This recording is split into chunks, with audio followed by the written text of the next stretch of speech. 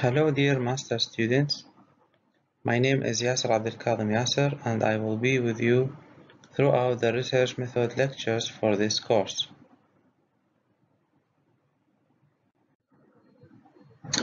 The topics of this course including Introduction, Ethics in Health Research, Stages of the scientific research process including Identifying a research topic, Review of literature, Defining and refining the research question, Generating the research hypothesis, Types of research methodologies, Populations and samples, Data collection, Data analysis, Interpreting the results, and then you will take writing a research protocol and finally writing and publishing a scientific paper.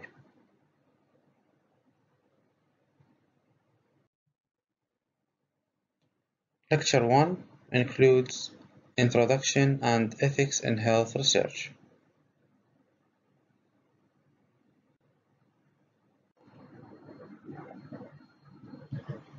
We can define research as a systematic collection of data with description, analysis, and interpretation in order to answer a question or solve a problem.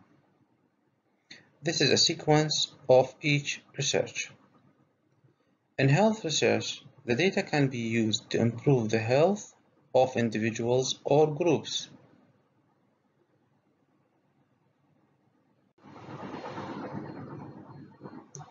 With the research process, we can change the information to knowledge.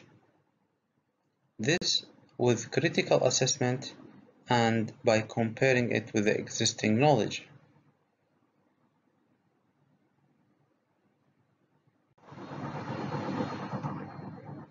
In our daily life, we are doing a research process every day.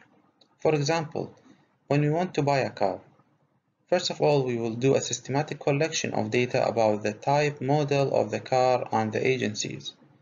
Then we will describe, analyze, and interpret these data in order to solve our problem and reach a scientific conclusion of which type of car that we want to buy. So this is the same sequence of a research process in order to answer our question or solve a problem.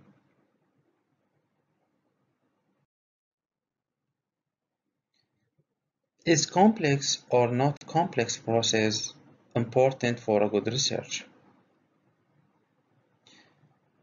Indeed, it's not necessary to do a complex instrumentation for a good research. Every time, try to make your research as simple as possible in order to avoid errors. So complex methodologies is not requirement for a good research. What is more important or the keys for good research are proper planning, accuracy in data collection, and proper unbiased interpretation.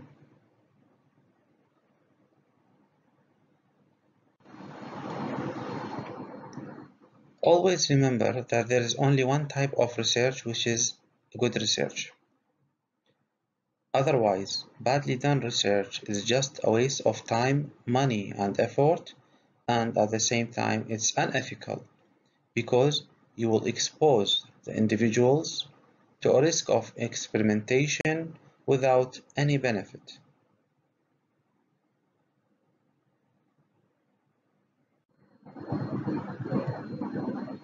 Also, it's important to know that research is not a method of proof. In other words, that research does not prove anything, but it provides a supportive evidence for or against the existing or nature of relationships among or between the variables of interest. Because information or knowledge is a cumulative process, so we need multiple researches in order to reach a method of proof.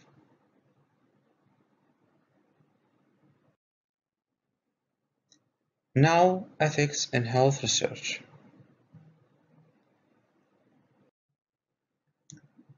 Whenever you have a study including participants, individual participants or animal, you need to apply ethics in your health research. You as a researcher, you need the help of individuals in order to do your research. And many of the participants are willing to expose many of their personal information. Your duty is to treat this information with honesty and respect.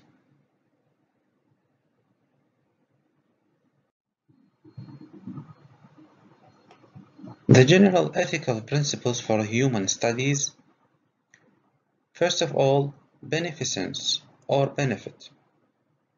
Every effort should be done to maximize the benefits to the subjects who will participate in the study.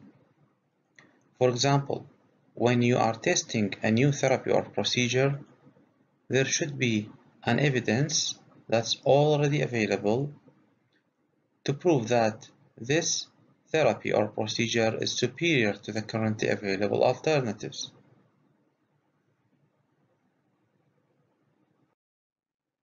Second, non-maleficence or no harm.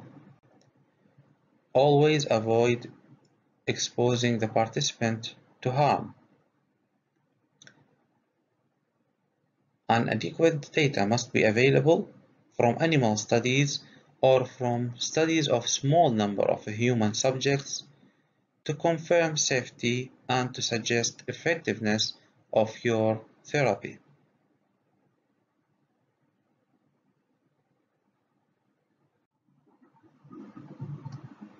Third, respect. When you have individual participation in your study, this should be completely voluntary and based on informed consent.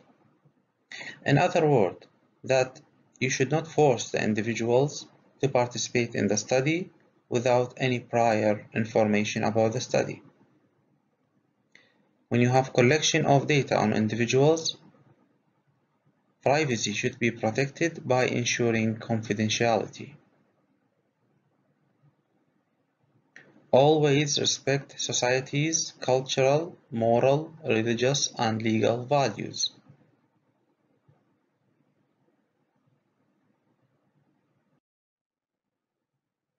Fourth, justice. No population group should carry an undue burden of research for the benefit of another group. So your research groups should be treated equally.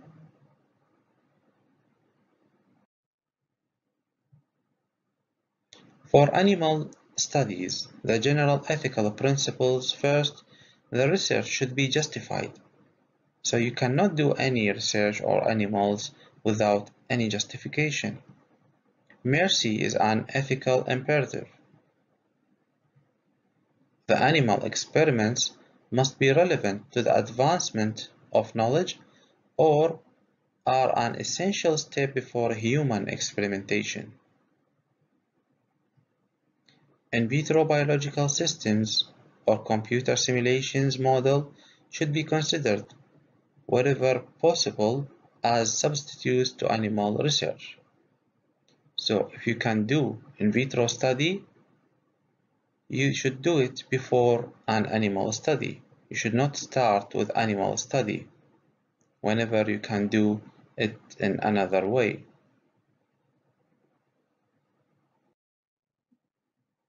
So in summary, the general ethical principles include benefit, no harm, respect, justice, and always consider mercy and honesty.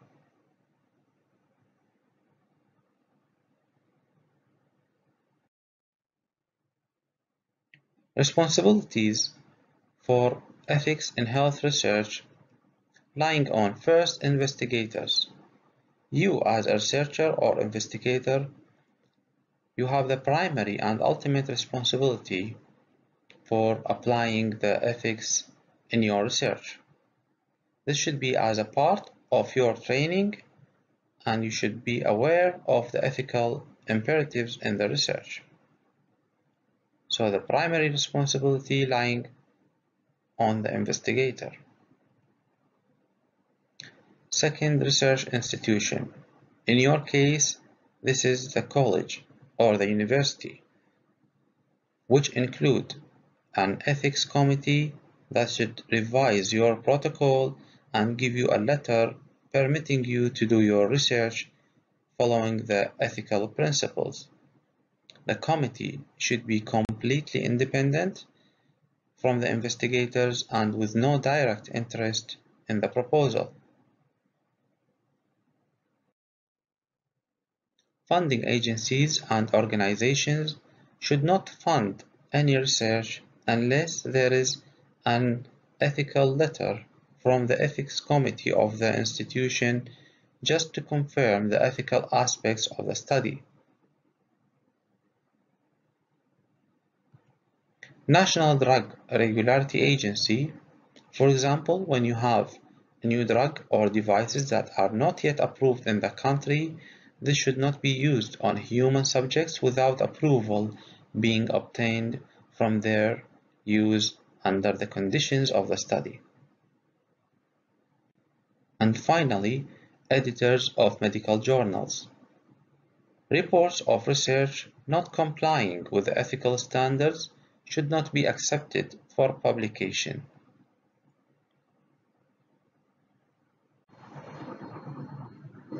To summarize responsibility for ethics in health research, the primary responsibility is on investigators, then research institution, funding agencies and organizations, National Drug Regulatory Agency, and finally editors of medical journals.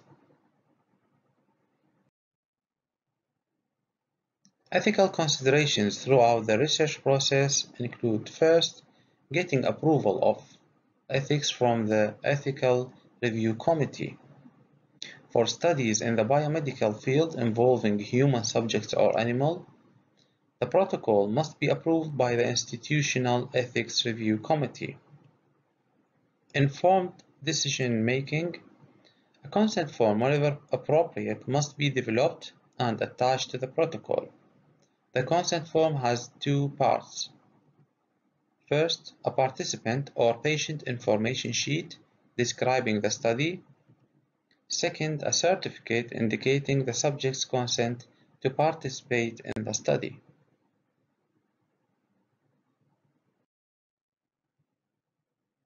The patient information sheet should First, explain why the study is being done and why the subject has been asked to participate.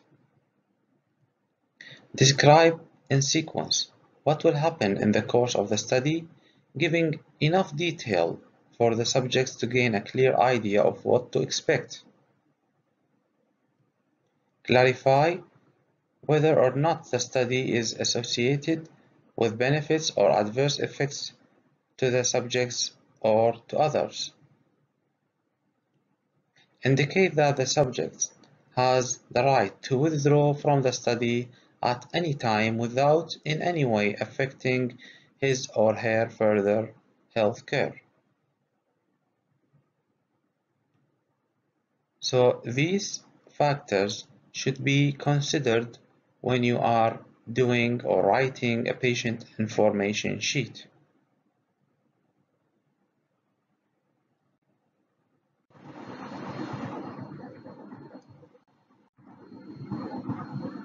So now we finished introduction and ethics in health research.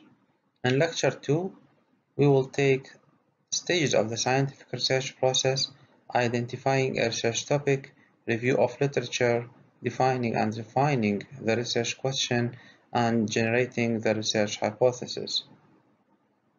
Thank you for your attention.